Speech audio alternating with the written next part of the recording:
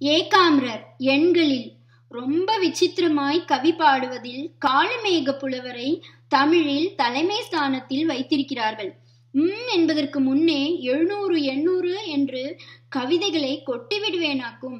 நிறைய ஜலம் முட்டி கொண்டு கருப்பாய் இருக்கிற ஒரு காளமேகம் மழையை கொட்டுவது போல கவிதைகளை கொட்டுகிற காளமேகமாக்கும் நான் என்று அவரே சொல்லிக் கொண்டிருக்கிறார். நினைத்தே பார்க்க முடியாதபடி நூத்தன நூத்தனமாக எதையாவது சொல்லி அந்த கருத்துக்கு இசைய இவர் கவி பாட வேண்டும் என்று மற்ற கவிகள் பந்தயம் வைத்திருக்கிறார்கள். கொஞ்சம் கூட சளைக்காமல் அத்தனை பந்தயத்திலும் அவர் ஜெயித்திருக்கிறார். நமக்கு இந்த காஞ்சிபுரம் இதிலே ஒரு மா என்பதாக ஒரே ஒரு மாம்பழத்தை பழுக்க விட்டு கொண்டிருக்கும் ஏகாம்ரம் ஏக ஒரு ஆம்ரம் மா. என்றால் கிட்டின உறவு மாதிரி. அதனால் அது சம்பந்தமாக ஒரு காலமேக கவிதை பார்க்கலாம். ஒரே ஒரு மா என்கிற போது அதைவிட குறைச்சல் இல்லை என்று ரொம்ப சின்னதாக ஒரு நம்பரை சொன்னார் போல் இருக்கிறது. நான் சொல்ல போகிற கவிதையிலோ எல்லாமே ஒன்றுக்கும் சின்ன நம்பர்களாக வரும். ஒன்றை விட சின்ன பின்னங்களாக முக்கால் அரை கால் அரைக்கால் இருமா மாகாணி ஒருமா கீழரை என்று இருக்கிற எண்ணிக்கைகளை எல்லாம் குறிப்பிட்டு ஏகாம்பரநாதர் சம்பந்தமாக ஒரு வெண்பா பண்ணி காட்டும் என்று மற்ற கவிகள் சேலஞ்ச் செய்தார்கள்.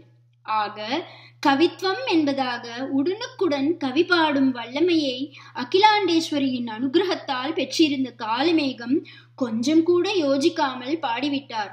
முக்காலும் கேட்காமுன் முன்னரையில் வீழாமுன் அக்கால் அரைக்கால் கண்டு அஞ்சாமுன் விக்கி இருமாமுன் மாகாணி கேட்காமுன் கச்சி ஒருமாவின் கீழறை இன்றோது.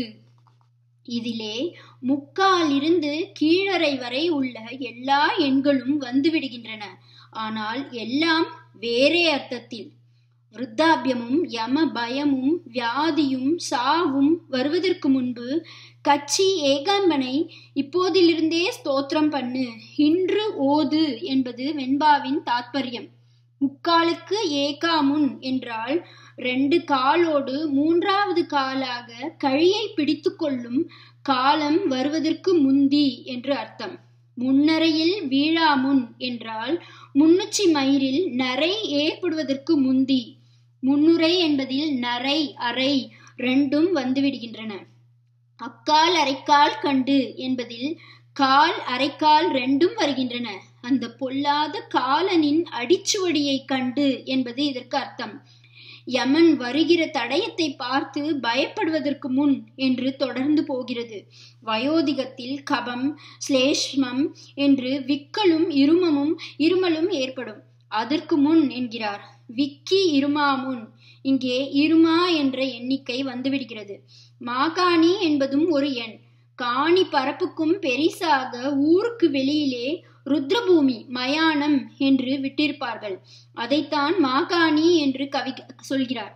மாகாணி கேட்காமுன் ருத்ரபூமிக்கு போய் சேருவதற்கு முன்னாலே ஒருமா என்ற இலக்கத்தையே ஏக்க ஆம்ரமான ஒருமா ஆக்கி கொண்டு விடுகிறார். காஞ்சிபுரத்தில் இந்த ஒருமாவின் கீழே வசிக்கிறவரைத்தான் கச்சி ஒருமாவின் கீழரை என்கிறார்.